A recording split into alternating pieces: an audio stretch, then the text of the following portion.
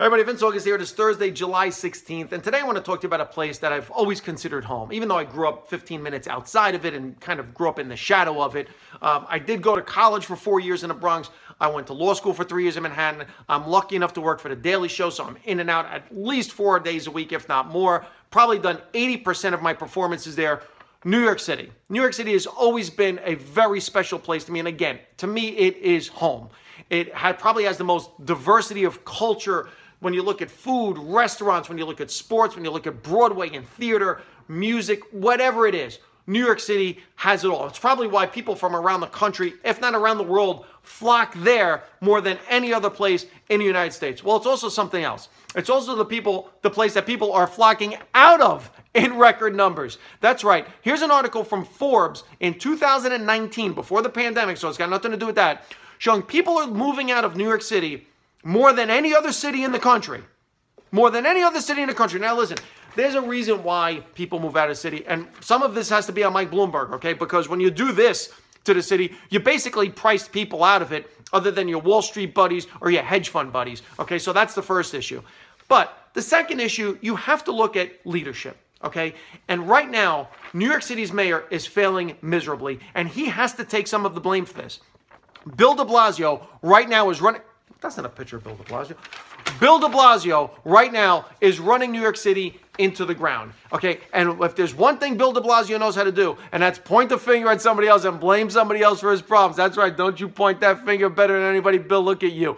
He will let you know any problem in the city is either Andrew Cuomo's fault, President Trump's fault, it is the police's problem. It's it's everyone's problem but his. He's got nothing to do with the shortcomings of New York City. He doesn't want to address any listen, even when the issues addressed his own family. Remember when his daughter got arrested and there was that famous mugshot he didn't want floating around about? He was more concerned about the optics of this that's not the picture of his daughter.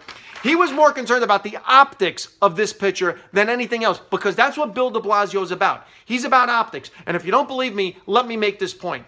This week, Bill de Blasio made sure that he took a photo op to show everyone he was painting the Black Lives Matter mural in the street across from Trump Tower. Well, turns out we know one thing that bothers Bill de Blasio graffiti. And if you live in New York, you're saying graffiti. Are you kidding me? He doesn't care about graffiti. It's all over the place. Look at the rioting and the looting. People were spraying stuff all over the place. He didn't mention it once. Okay, well, not all graffiti. Graffiti that affects his photo op. That's right. Because when somebody threw red paint on his Black Lives Matter mural, he made sure to get this fixed in 24 hours. This was his priority.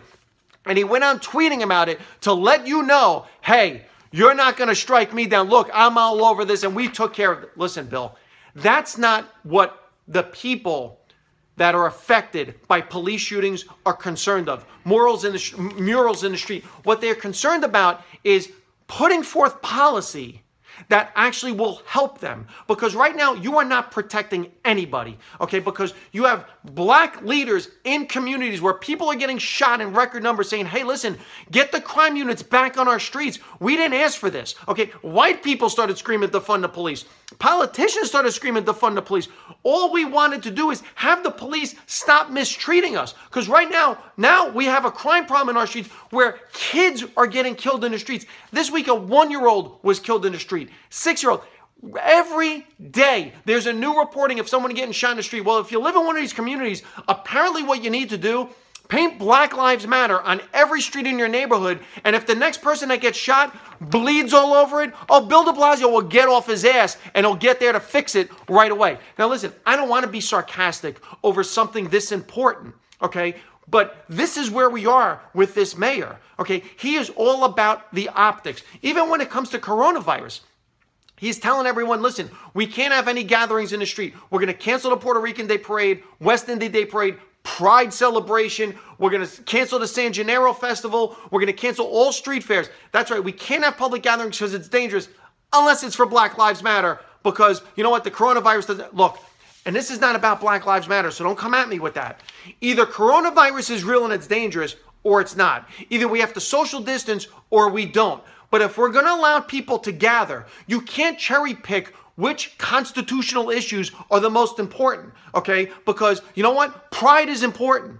It is important for Puerto Ricans to celebrate their heritage. It's important for Italians to gather in San Gennaro. And so it's important for everyone to be able to gather together for different reasons. But if you're not going to do that, all you are doing is creating more division. Okay, look, Bill, you need to bring us together, and you're not doing that right now. You know why? Because all you know how to do is point that finger at someone else. Well, the more you point that finger at someone else, you know what you might as well point it at? You might as well point it at these people that are leaving your city in record numbers. That's who you should be pointing at. And then maybe it'll finally make sense to you.